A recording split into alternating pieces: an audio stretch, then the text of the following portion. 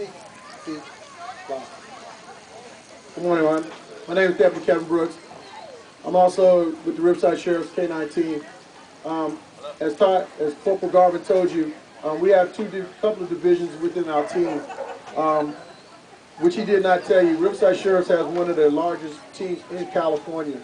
Uh, we have 12 apprehension dogs, which is what, what my dog is, is an apprehension dog. Um, Within the apprehension dogs, they are trained for, of course, apprehending suspects. They also train to search out for narcotics, and we can also search out for evidence. So if a suspect runs some in a certain direction or runs, drops a gun, drops a knife, drops any type of evidence that we may think he is out there, I can send her out, or we can send our dogs out. We can search for that evidence. Also, on the narcotic side, we can also search out narcotics in a house, or we can do a vehicle. If a suspect hide, um, as you know, a lot of narcotics come across the borders. They they're getting very sophisticated. They got little hide hideaway spots. We can locate those hideaway spots. Um, and then again, apprehension.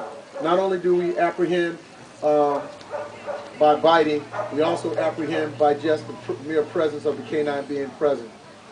Again, we have 12 apprehension dogs.